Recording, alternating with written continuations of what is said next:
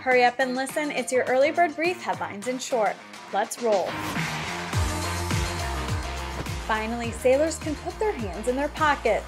The Navy on Wednesday announced a sweeping range of uniform and personnel appearance updates, including reinstating the female bucket cover and allowing sailors to place their hands in their pockets. And eight year active duty enlistments for new recruits? It may soon be the case for the Space Force.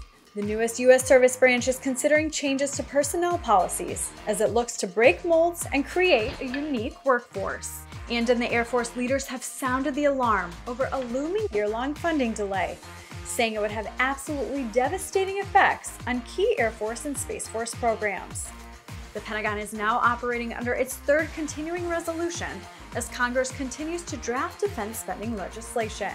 And that's what I got for today. Head to militarytimes.com or defensenews.com slash EBB for more news. That's an order.